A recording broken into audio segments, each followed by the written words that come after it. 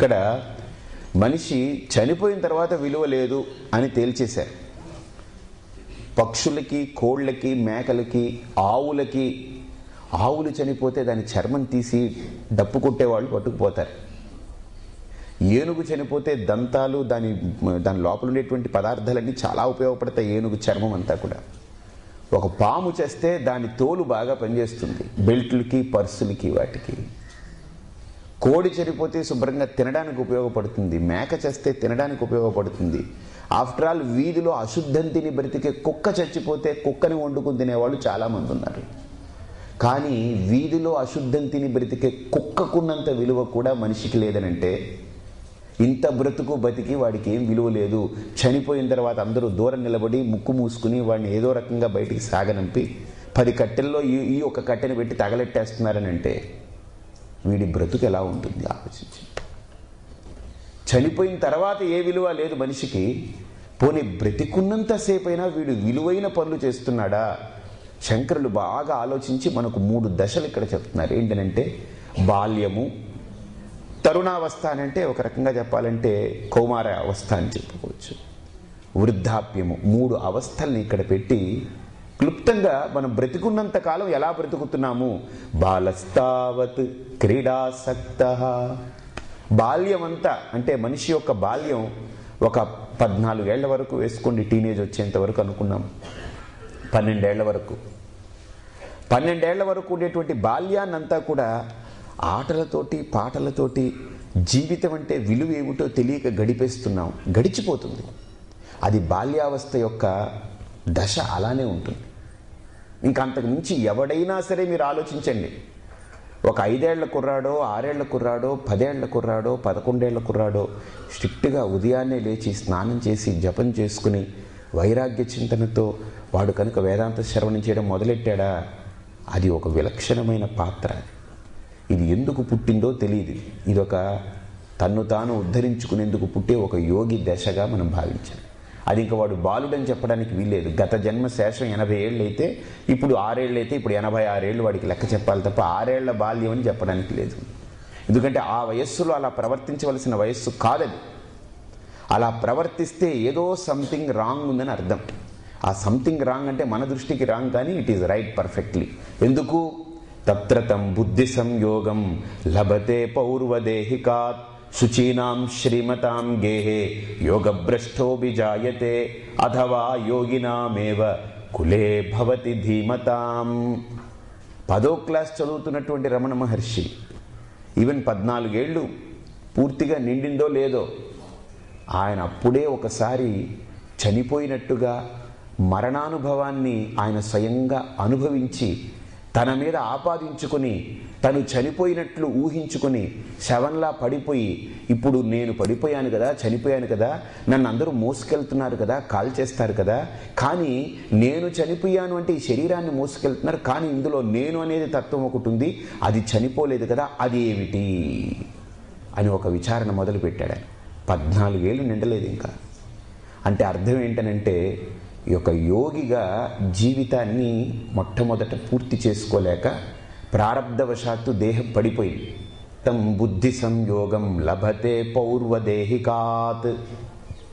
మనం ఒక లెటర్ రాస్తూ ఉన్నామనుకోండి రాత్రి రాచి ఆ లెటర్ని రాసి రాసి అలసట వచ్చింది ఆలోచన కదలట్లేదు మత్తుగా ఉంది నిద్రపోవాలనిపిస్తుంది. ఒక ఐదు లైన్ ఐదు లైన్లు రాసిన తర్వాత ఆ లెటర్ మీద కాగితం పెట్టేసి పడుకుంటాం మనం.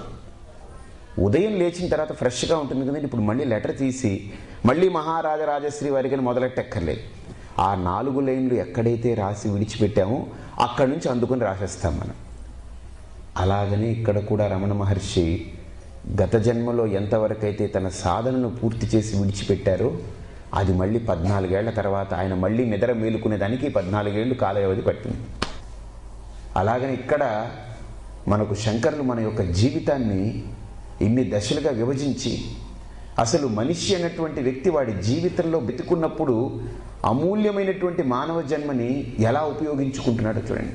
బాలస్తావత్ క్రీడాసక్త. బాలస్తావత్ క్రీడాసక్త.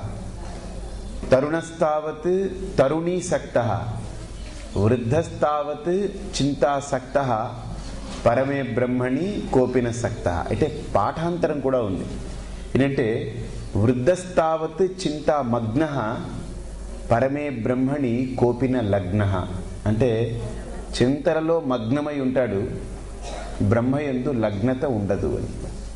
కాబట్టి మగ్నము లగ్నము అని ఇక్కడ వాడడం జరుగుతుంది. అన్నీ సక్తహాన్ని వచ్చాయి కనుక అలా కూడా సక్తహాన్ని పెట్టుకోవచ్చు. మానవ జీవితాన్ని శంకరులు మూడు దశలుగా విభజించారు. బాల్యము అంటే కౌమార్యము తర్వాత వృద్ధాప్యం. మానవ జీవితం ఎలా ఉంటుంది అని ఆలోచిస్తే శంకరులకి మూడు తట్టాయి నాకు నాలుగు తట్టింది. నాలుగు అవస్థలుగా తట్టింది. మొదట ఒక కోతి ఏం చేస్తుందంటే అది చెట్టు కొమ్మలు ఈ కొమ్మ నుంచి ఆ కొమ్మకి అక్కడి నుంచి ఇక్కడికి ఇక్కడి నుంచి అక్కడికి గెంతడం దొరికింది తినడం ఎగరడం పడుకోవడం లేవడం. ఇది ఒక దశ. మానవుడి జీవితంలో కూడా కోతి దశ ఒకటి. బాల్యమంతా ఈ కోతి దశతో పోతుంది. ఆ తర్వాత కొంతకాలానికి ఇంట్లో అనుకుంటారు అబ్బబ్బా వీడిని కట్టిపడేయాలి. వీడికి ఏదో మూడు ముళ్ళు వేసి పడేస్తే శుభ్రంగా అలా పడుంటాడు ఇంకేదో వాడి పని వాడి కార్యక్రమం చూసుకుంటూ పడుంటాడు. పెళ్ళి అనే నెపంతో ఓ బంధం ఏర్పడుతుంది. ఇంకా అక్కడి నుంచి ఆ కోతి స్థాయి పోతుంది. ఇప్పుడు వీడికి ఏ స్థాయి వస్తుంది తెలుసండి? ఎద్దు. గానుగెద్దు. గానుగెద్దు యొక్క పరిస్థితి ఏంటి తెలుసండి? దాన్ని తీసుకెళ్ళడం ఉదయాన్నే దానికి మేత గీత పెడతారు. శుభ్రంగా దాన్ని లేపి మేత పెట్టి దానికి కుడితది పెట్టి అక్కడి నుంచి కట్టు తీసుకెళ్తాడు. తీసుకెళ్ళి ఆ గానుగు ఉంటుంది కదా దానికి తగిలిస్తాడు. అందులో ఏవే వేయాలో దాంట్లో అది వేస్తాడు. ఇంకా దాన్ని తిప్పుతూ ఉంటాడు ఇంకా తిరుగుతూ ఉంటుంది. సాయంత్రం వరకు తిరుగుతూ ఉంటుంది. మధ్య మధ్యలో అలసిపోయినప్పుడల్లా ఇంత బకెట్లో నీళ్ళు పెడతాడు తాగుతుంది. సాయంత్రం అంతా అయిపోయిన తర్వాత దాన్ని విప్పేసి తీసుకొచ్చి దానికి శుభ్రంగా తోమి దానికి మళ్ళీ చిట్టు పొట్టు తవుడు అది వేసి కుడితి పెట్టి దాన్ని పడుకోబెట్టి ఇంత గడ్డి వేస్తే అలా పడుకుంటుంది అనమాట మళ్ళీ ఉదయం లేస్తుంది మళ్ళీ మేత వేస్తుంది మళ్ళీ గానుగెద్దు గానుగు తిప్పడానికి వెళ్తుంది. సాయంత్రం వరకు తిప్పుతుంది మళ్ళీ వస్తుంది తింటుంది పడుకుంటుంది. వీడి పరిస్థితి కూడా ఒక ఎద్దు లాంటిదే. కట్టిపాడేసిన తర్వాత గానుక్కి ఇక్కడి నుంచి ఆఫీస్కి వెళ్ళడం?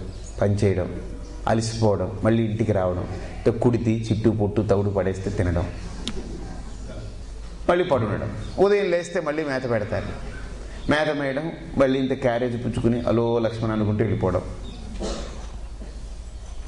అక్కడి నుంచి మళ్ళీ ఇలాగ ఈ గానుగెద్దులాగా వాడి జీవితం ఇల్లు ఆఫీసు ఇల్లు ఆఫీసు ఇల్లు వ్యాపారం.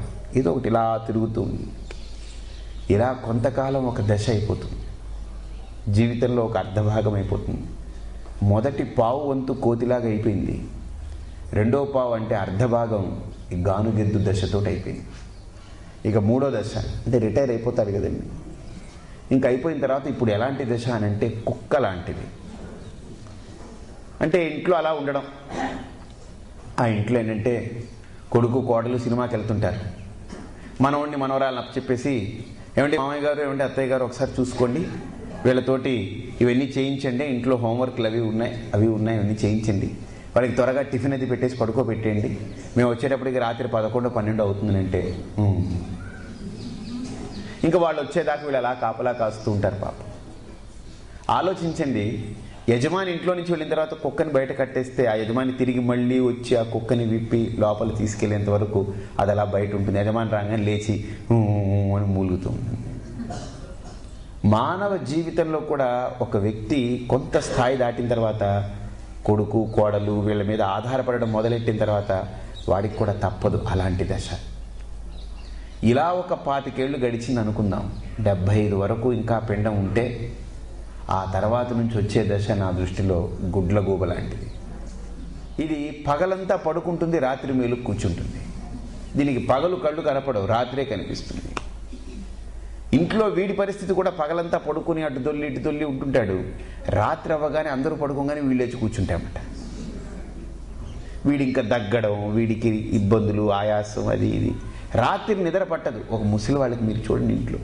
ఓ డెబ్భై దాటి ఎనభై ఎనభై ఐదు ఉంటే వీళ్ళకి నిద్ర పట్టదు.